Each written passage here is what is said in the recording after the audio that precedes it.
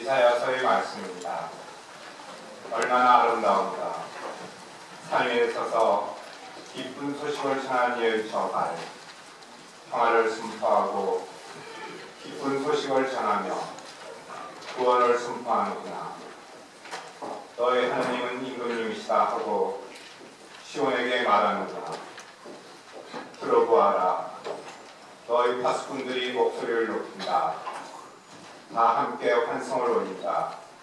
주님께서 시온으로 돌아오심을 그들은 직접 눈으로 본다.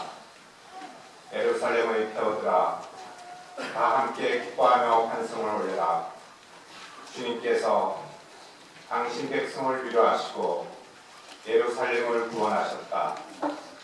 주님께서 모든 민족들이 보는 앞에서 당신의 거룩한 팔을 거두붙이시니 땅 끝들이 모두 우리 하나님의 구원을 소리라. 주님의 말씀입니다.